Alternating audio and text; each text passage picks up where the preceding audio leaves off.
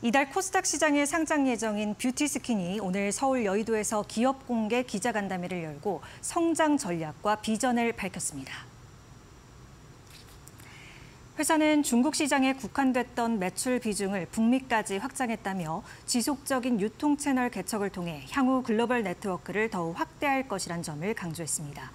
회사는 이번 공모를 통해 확보한 자금은 R&D, 브랜드 마케팅 등을 위해 사용한다는 계획입니다.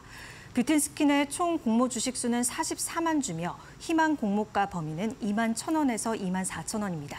청약 예정일은 이달 13일과 14일이며 상장 예정일은 24일입니다.